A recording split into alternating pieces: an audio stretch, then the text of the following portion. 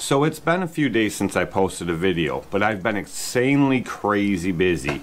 And I'm about to show you why and how I was so busy in this video.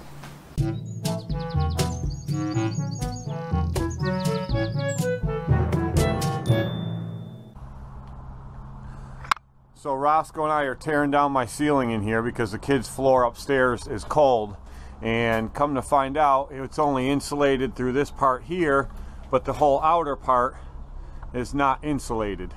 And that's where all the cold air is coming into my kids bedroom floor. So we're going to finish tearing all this out here. We're going to re-insulate the whole thing fill any cracks we have with uh, foam insulation.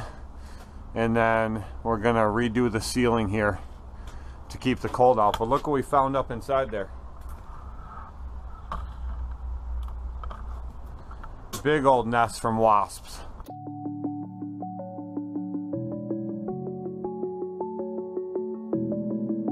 So we realized real quick that the little bit of insulation is up there. It's like two inches thick. They never stapled it to the joists, so it all has fallen down.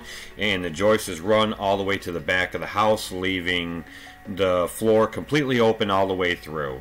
So it was just letting the cold air come up through the front part. The front part out closest overhang doesn't need to be insulated. It's just the part where you see insulation now. It just needs to be done a lot better. So what we did is we end up just filling all the gaps with spray foam and then we packed like 14 inches of insulation in there. We stuffed it up in there as far as we could and then we layered it right on through in between all those joists. And then we folded it over and packed it in the end. We found this nasty beehive which I've been spraying in the end by the gutter for the last year and a half. Uh, wasp coming in and out of there. But you can see it. That's what it looked like. So the whole face of that board there um, above where it's black that's the wall that goes up on the outside of my house. So we yeah see it's open all the way on through. But we put a Celtec or whatever it is uh, across the face of that. You can see it there now, silver on the left and blue on the right to uh, insulate right across there. And then we just started packing that insulation in there. We put 2 by 4 boards across dropped the ceiling down about 2 inches and then we went over it again with tongue and groove like what was up there. And uh, see we just have it packed in there. Everywhere we could get insulation we packed it in there and uh, just loaded it right up. So there's absolutely no air getting in there now that's going to go into any of the floors in my upstairs. And then we plastic the whole thing with three and a half mil plastic for a vapor barrier.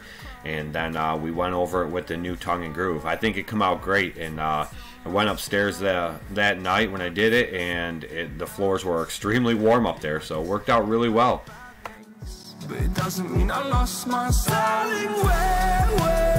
Here is the finished product. And I got it all trimmed out, the trim boards all the way around. Now the original plan was to burn it with a torch to bring the grain out and then clear coat over top of it. But I decided that I don't like the way that looks up against the blue. So we're just gonna paint the whole thing white. And when I say we, I mean my wife because I hate painting and she's really good at it. And then the white will match the door and all that funky stuff. So it'll look good.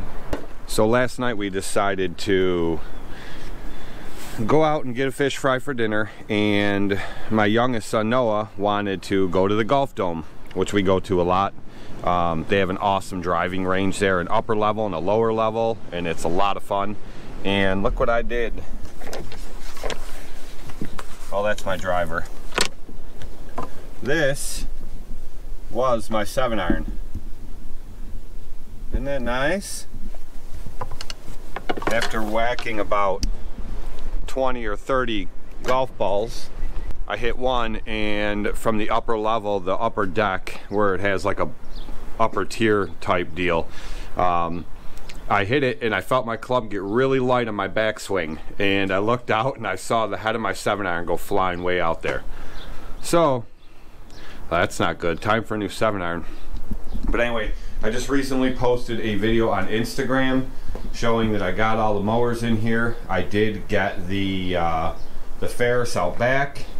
So this is going to be the this is going to be the setup in the garage for the summer. It's going to be the MT obviously with the 48 inch deck, the B with the 56 inch side discharge, and then the new Wright Sport X, not the I. It is the Sport X. A lot of people have asked me. The Sport I is roughly the same thing, but it's the smaller frame, the smaller model. The Sport X is the bigger of the two. So this is the Sport X, and uh, this has a 52 inch deck for those of you that don't know. But a lot of you guys have been telling I wanted a new compressor because forever I've been running that tiny little thing down there, and then I had that huge one I had to sell. Well, when Ryan and I were going up to get supplies for that ceiling, I found this. Now I've been wanting like a 20, 21 gallon, and I've been looking a bunch that were like 150 psi max. Um, but we walked into Home Depot and I found this Husky, and it is 175 psi, and it is a 30 gallon. Now, there it is right there, 30 gallon. Now this one's normally uh, 389 and they had it clearanced as a reconditioned model. They even wrote recon on it right there. They had it clearance as a reconditioned model for 210 bucks. So I bought it, and when I got to the register, they said you can have a three-year free replacement warranty for $55. So like 265, I guess, when you add it all up. I got the whole thing, and now I have a compressor even a little bit bigger than what I wanted and what I needed and I got it for far less than what they cost. Now, as far as an air compressor, the reason I don't need a bigger one is because one, this isn't a real big garage. It's not a real big shop, and I really don't use an air compressor for a lot. I use it mostly for once a week or twice a week, blowing the air filters out on the mowers, um, blowing down in all around the engine to get the debris and everything off that's built up throughout the week, and filling up tires. Um, anything big that I need it for, like I have my I have my Milwaukee impact. This is the bigger out of all the Milwaukee impacts that they make. Um, and it's something like 1400 foot-pounds of torque.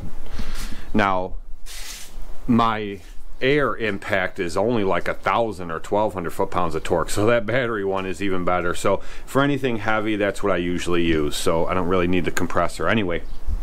But you'll see I still have the saw in here and I still have a bunch of other stuff I need to clear out of here and there is the uh, accelerator that will be mounted on that which I still haven't done yet and then the trimmer rack which I still haven't done yet.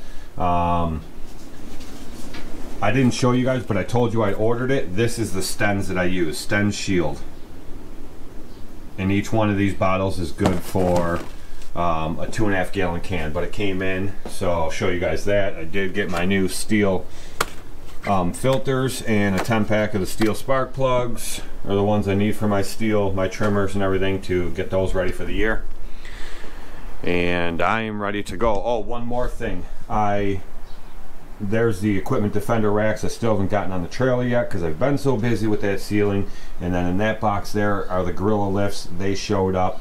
One thing I got a lot of feedback on those gorilla lifts some good some bad.